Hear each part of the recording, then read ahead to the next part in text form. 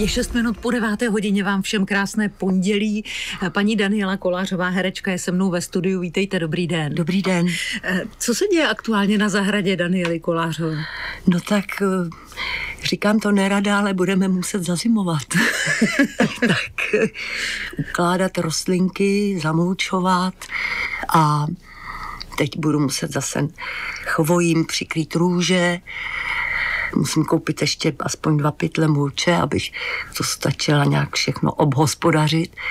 A mám vždycky strach, že nic nestihnu, protože jak začne sezóna, tak eh, jakože letos to vypadá, že skutečně jako divadla začínají hrát, tak po té odmlce tak eh, se ten čas krátí, takže mám třeba jenom den a půl, mám to necelých 50 kilometrů teda od Prahy, takže takhle budu pendlovat, abych to zazimovala. Eh, je pro mě těžké představit si křehkou dámu, jak vláčí pytel s mulčovací kůrou. Pomáhá vám někdo? Ale no tak mulč se dá zvládnout. Horší je to s, s, s hlínou, hmm. se substrátem, to je těžší. Mulč ještě zvládnu do, dotáhnout na tom vozíku do auta a vyložit to na kolečko. Čím vás ta zahrada nikdy nepřestane bavit?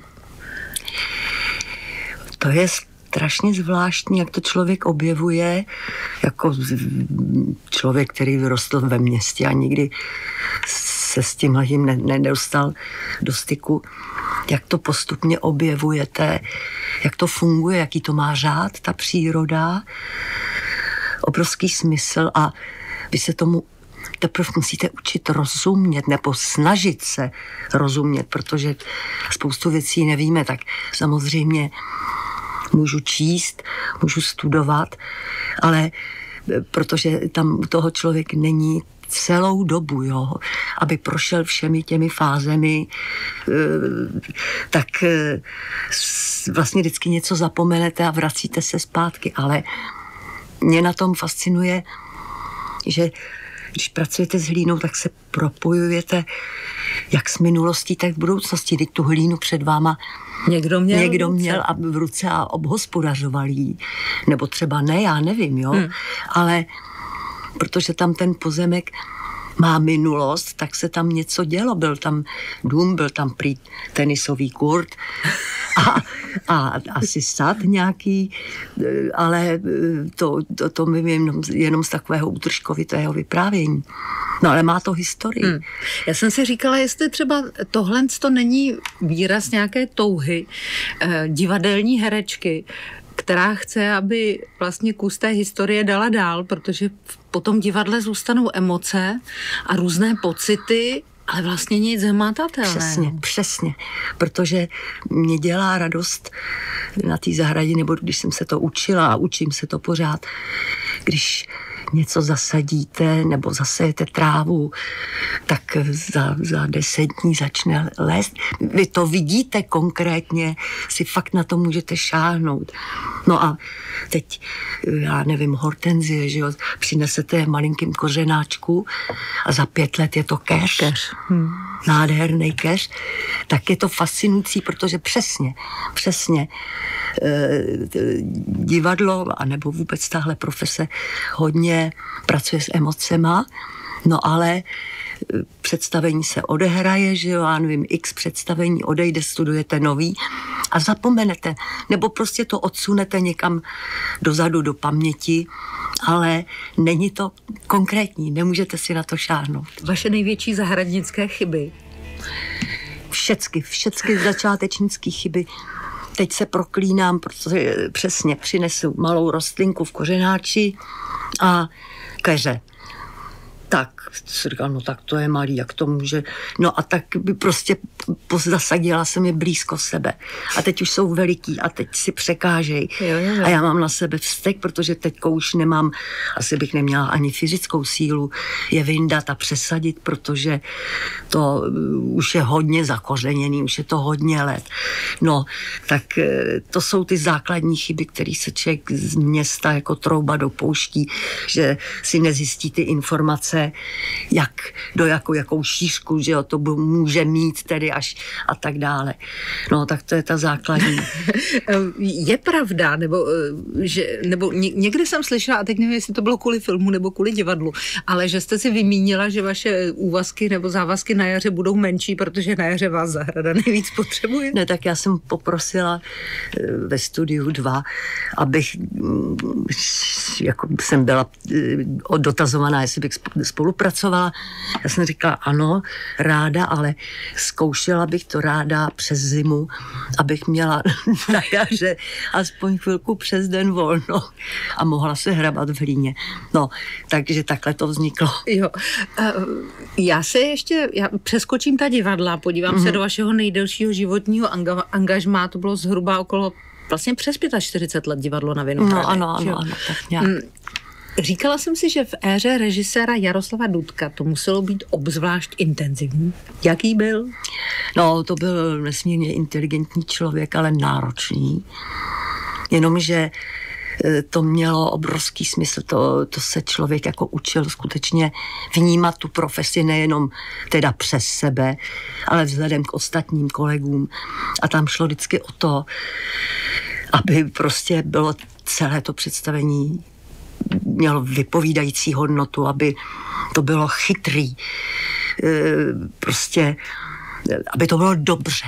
Hmm. I, i po, po profesi, hlavně po profesi, aby jsme jeden akceptovali druhého na jevišti e, a nikdo neexiboval na úkor ostatních nebo vůbec tématu hry. Navíc... To je asi hrozně snadné sklouznout k té exhibici, ano. když máte všechny ty nástroje. No jo, no tak, ale když je tam takový režisér, jako byl pan Dudek, tak, tak to nejde. Tak to nejde, protože on chodil na dozory, samozřejmě objevoval se vždycky nečekaně. No a to pak následovali po představení připomínky, jako okamžitě, jako by, kdyby něco takového nastalo, hmm. tak, ale on třeba eh, viděl i chyby právě v té vzájemné komunikaci, že třeba jeden kolega nevnímá druhou kolegyni a eh, prostě na tom dozoru to sledoval a trval na tom, že to představení musí být tak hodnotý, jak bylo nastudovaný. Chodí ještě dneska režiséři na dozory do divadla? No tak někdy ano, někdy ne, to je, to je individuální. Ale eh, pan režisér Dudek si to hlídá. Kdybychom vzali ten seznam těch režisérů, kteří pro vás byli důležití, asi by tam byl i váš manžel Jiří Ornest. No tak ano, ale my jsme toho spolu vlastně... To já vím, ale, no, ale, ale svým způsobem asi No to určitě, protože on měl zase absolutně jako svůj styl vidění té inscenace, kterou zkoušel a bylo to úplně jinak samozřejmě než na Vinohradech, ale byl nesmírně originálně osobitý. A byl by tam Jiří Horčička? Určitě, je v rádio, bože, to jsem, to byly, na to ráda vzpomínám. Když pominu eh, třeba to, že jste byli s Jiří manžele a tak dále, a, a asi ho z toho úplně vyjmu, eh, trvají některé ty profesní aliance třeba až doteď? Jsou lidé, se kterými člověk celý život jde, oni se třeba na chvíli zanoří, ale pak zase se objeví ale tak eh, někoho ano, někoho ne. No. To je zvláštní podle toho, do jaký se dostanete konstelace. Mm-hmm. Když, nevím, jestli ještě existují vlastně ta trvalá angažmá, jako jsme měli my. A e, vlastně každý ten dům, každé to divadlo se lišilo i nějakým stylem, dramaturgicky i režíně. No tak jste citovala Jirku Ornesta, tak eh, to zábradlí, zábradlí. bylo vysloveně, nebo je taky do dneška, jde svým způsobem. Jo? Sice se to proměňuje, ale vždycky to mělo nějaký osobitý styl.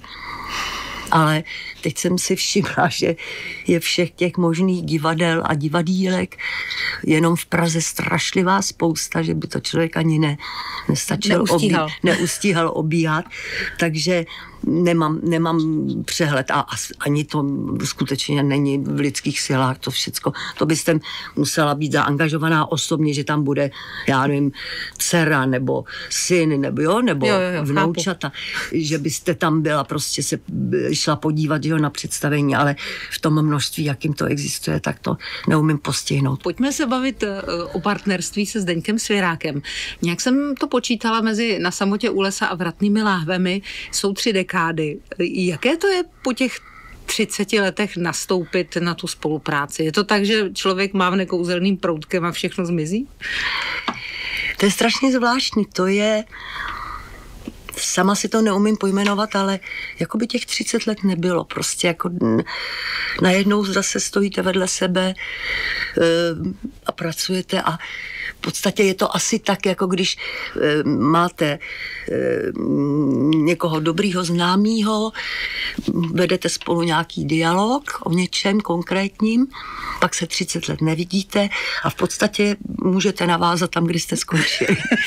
tak takhle jsem si to jako snažila definovat, protože mně to přišlo neuvěřitelný. Třeba, jo, ta spolupráce po 30 letech. Ale tam to nějakým zvláštním způsobem funguje. No, Zdeněk Svěrák má mnoho kvalit a jedna z nich, která mě velmi baví, je takové to klukovství věčné. On má pořád sklony k blbnutí. Ano. Projevuje se to i teď? Já myslím, že pořád. No, že to je to, co ho drží prostě při té energii a, a svěžesti. Takže vás dokáže třeba při natáčení něčím rozesmát, pobavit, Ale to určitě, něčím určitě, totálně bizarní. Určitě, určitě, protože přesně to jste pojmenovala, přesně tam, tam je ten, ten kluk, no. Někde, jako ne, není to hraný, není to e, jako nějak inscenovaný nebo tlačený, prostě je takovej.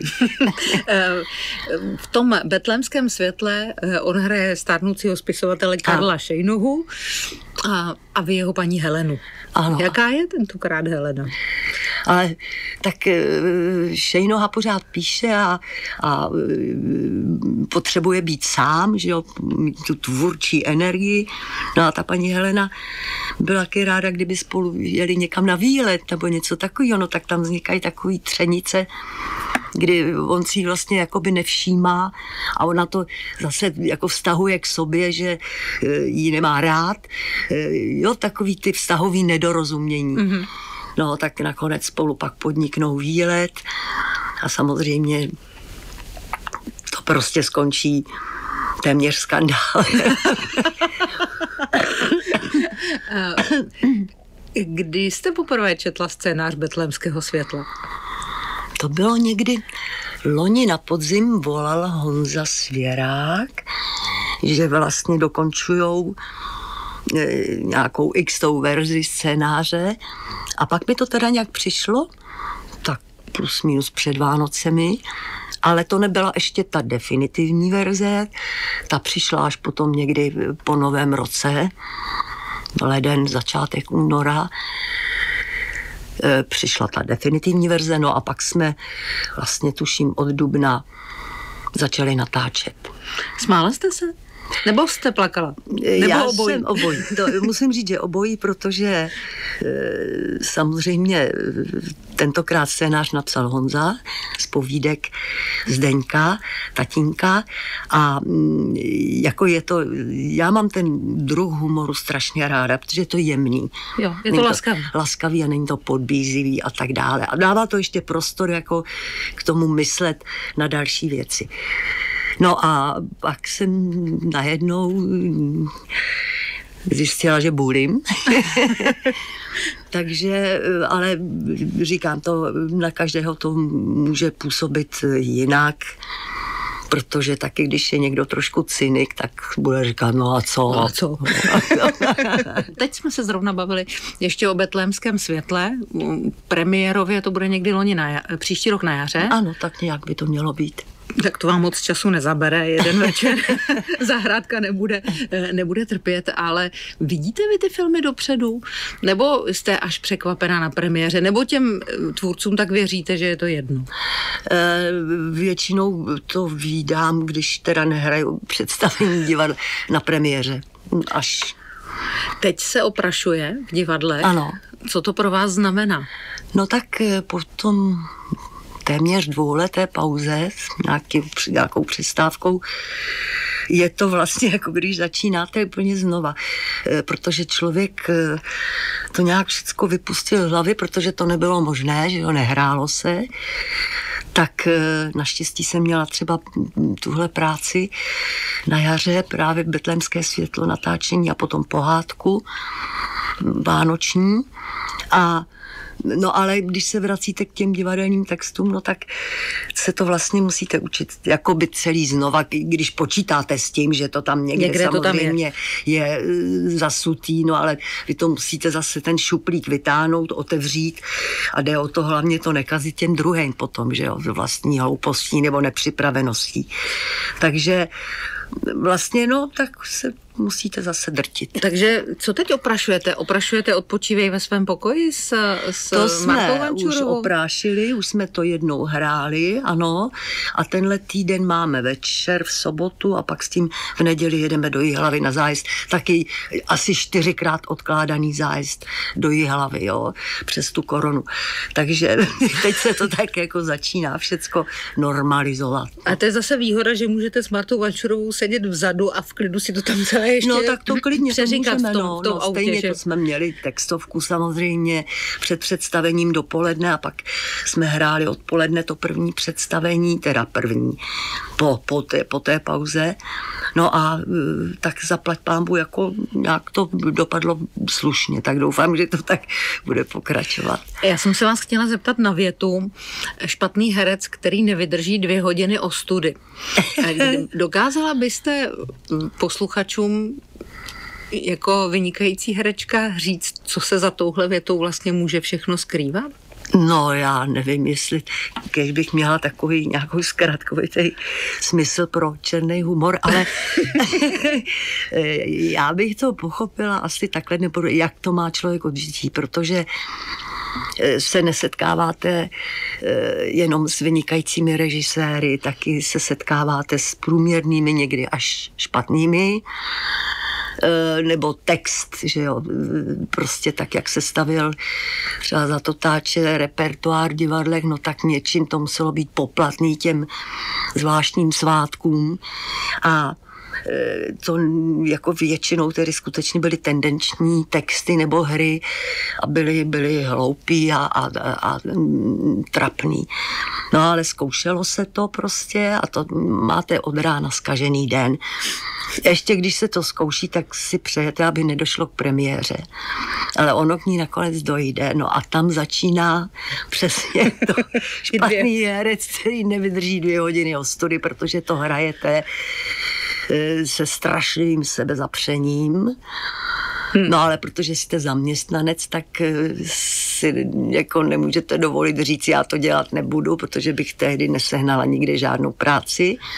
Ale tam, tam mě to došlo, co to je, protože to máte skutečně od rána zkažený den, protože víte, že prostě to nebylo kvalitní zkoušení, není to kvalitní text a že jdete před lidi že to prostě vůbec ta drzost s tímhle jít před lidi, no a to, to je přesně, to by mým pojetí tomuhle odpovídalo. Hmm. A to už asi dneska neděje, ne? Ale to víte, že se to děje. Ale... Jako, že, se, že se zkouší blbé hry, tomu věřím. No, tak, no ano, takhle, takhle. Ale eh, to taky záleží, rozumíte, každý čteme text asi mm, jinak Jo, někomu to nemusí připadat blbý, je to jenom povrchní a, a bude sranda, že jo, tak co. Jo, že, že někdo si z toho dělá menší hlavu. No, prostě. No, ano, ano, každý to čte jinak, jo, hmm. ale eh, já právě jste zmiňovala pana režiséra Dudka na Vinohradech, no tak jako to, to byla taková škola, že tam ta kvalita všem, všeho, jo, textu, provedení musela být prostě úplně ta nejvyšší. Takže od toho to člověk všecko začal poměřovat. No, no a já si právě říkám, kolikrát vám vaše přímočarost, protože já vás vnímám tak, že když když tady sedí někteří herci, tak mi zahrají to, co já zrovna chci, nebo to, co zrovna se jim jako hmm. hodí, že by, že by bylo hezké, kdyby tak byli vidění. Jo, ne aha. všichni, ale někdo to tak má. A u vás to vnímám tak, že já dostanu na přímou otázku přímou odpověď. Dělalo vám to hodně velké problémy v životě? Ale tak už od malička v podstatě ve škole, ano, chytrá, ale drzá. to jsem měla takový dotazy. No ale to bylo v podstatě upřímný, jo, když mě přišlo něco pitomý, tak jsem se zeptala, proč, proč to tak je a tak. No tak eh, nevím, takhle samozřejmě, že měl člověk asi s někým i nějaký konflikty a tak, ale jako si jedno, abych nebyla prostě zlá. No. Jana píše, role ve filmu Vratné lahve je tak kouzelně zahraná, že se jí nemohu nabažit a s lety zjišťuji, jak více a více je pravdivá. Kterou scénu máte osobně nejraději? Ježíš, tak moc děkuju. Eh, já si vždycky vybavím, jestli si to taky vybavíte se mnou, eh, jak jsme nasazovali se Zdeňkem při tom generálním úklidu zpátky dveře do těch pantů, mm-hmm. tak to jsme točili snad dvě hodiny, protože se to pořád nevedlo. Jsme byli úplně zničený. Prostě buď něco nechytila kamera, nebo my jsme se nemohli strefit do těch, do těch eh, pan, pantů. Pan, pantů prostě a ty dveře nebyly lehký, takže to se mě teda vybaví, protože to bylo, to bylo uh, takový jako uh, fyzicky nerealizovatelný, ale nakonec se to potom povedlo, ale trvalo to strašně dlouho. Jana tady naráží na scénu s varnou konvicí, jak ano. smrdí ta samochvála. Já zase zbožňuji větu a žehlil někdy. Mm, ano. Jaké bylo léto s kovbojem? Předpokládám, že lepší než v rozmaru marném létu, píše Petr. A je tady spousta otázek na Jaromíra Hanzlíka. Pojďme to vzít tady s, tou, s touhle jednou. Ale tak eh, to eh, letos kovbojem jsme točili o prázdninách, protože to se tak dělávalo, aby herci nemuseli odjíždět do divadla, že jo. Tak se využil ten prázdninový čas, aby to ten štáb, eh, aby se to dalo produkčně dohromady. A tak to, co jsme točili nahoře v, v severních, ne v úplně v severozápadu, západu, západu severních Čechách. A ty pastviny a tak a pak se teda v, v Praze dotáčelo něco v ateliérech a, ale byl to to režíroval skvělý pan režisér Ivo Novák. Taková, taková prvorepublikánská osoba, nesmírně vtipnej, chytrej a e, byla s ním hrozně hezká práce. Bylo to milý, opravdu prázdninový natáčení. E, můžu něco osobního? Ano. Já se tady eh, nesmírně raduju během toho povídání z, naši, z, naší, z vaší tváře, vlastně z, z té přítomnosti. A eh, když se dívám, jak eh, stárnou některé dámy okolo mě, tak si říkám, tohle ne, tohle ne, tohle je skvělý. A když se dívám na vás, tak si říkám, tohle je skvělý. Děkuji. Ale asi to, ale asi to nebylo lehké, protože prostě některé kolegyně kolem vás sahají po plastické operaci, operaci, po různých vylepšeních a tak dále. Jak byste si v tomhle udělala jasno? Eh, já jsem nějak si to taky, jako mě to napadlo, co bych, jestli bych měla něco udělat. A pak jsem se rozhodla, že by to člověk, nebo že bych to měla ustát prostě, jo, že se bránit něčemu, rozumíte, já budu mít natažený, vytažený obličej a na tom krku už to bude vidět stejně. a tak vůbec, jo. jo. Eh, to si člověk, je to jako učíte se to přijmout, jo. Není to, není to teda něco, co by vám dělalo vysloveně radost, ale eh, vlastně já to kompenzuju třeba právě to prací na té zahradě, která mě těší psychicky i fyzicky ale psychicky se tam nesmírně jako nabiju ohromnou energii z té přírody a to přebije tyhle ty pohledy do zrcadla, kterých se, se vyhýbám čím dál tím víc a, a najednou si uvědomíte, že to není podstatný. No a taky teda už dostávám eh, role starších manželek a nebo babiček, že jo. Takže se s tím prostě, ale to je běh života, tak to je prostě.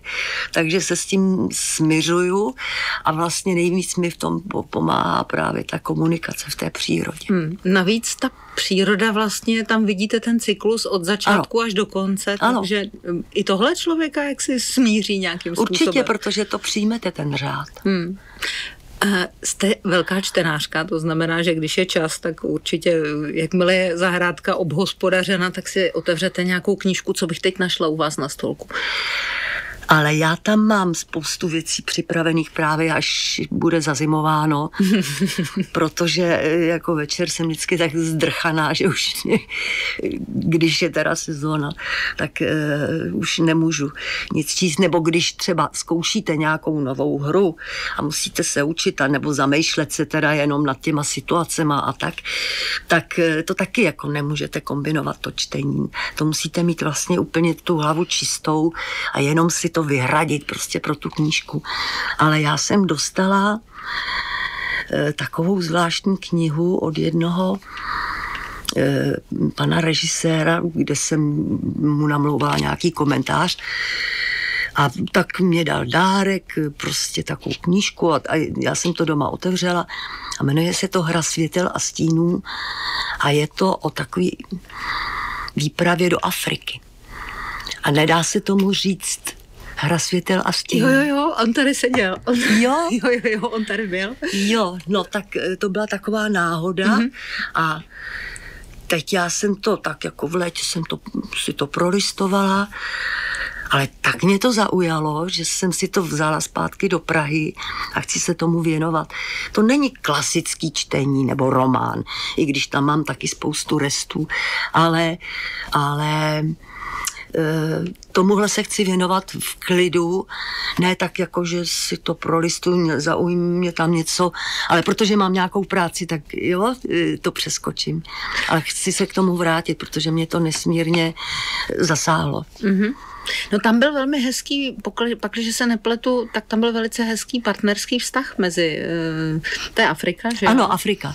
A teď já právě, no nic, eh, to je na jinou debatu, ještě abych tady alespoň udělala radost jednomu z posluchačů, tak uh, Martina se vás ptá, zmínila jste vánoční pohádku, uh, bude letos a co hrajete? Hraju takovou protivnou sudičku. Byli jsme tři, mm-hmm. Iva Janžerová, uh, Nadia Konvalinková a já. A oni jsou hodní a já jsem protivná. Ale to jsou o Vánocích, jo? Ano, ano, má to být o Vánocích. Daniela Kolářová byla dneska hostem radiožurnálu. Už přicházejí další dotazy, ale bohužel se na ně nedostane. Eh, přeju, eh, ať se podaří zahradu zazimovat. Přeju hodně času na to, co byste ráda a ať se vám daří. Děkuji napodobně. Lucie Výborná od mikrofonu přeje dobrý den, hezký celý týden, ať se daří i vám.